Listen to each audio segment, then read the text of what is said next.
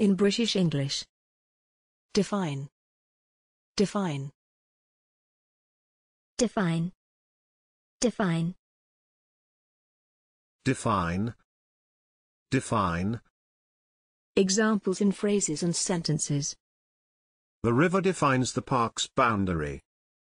The dictionary defines it as a type of pasture.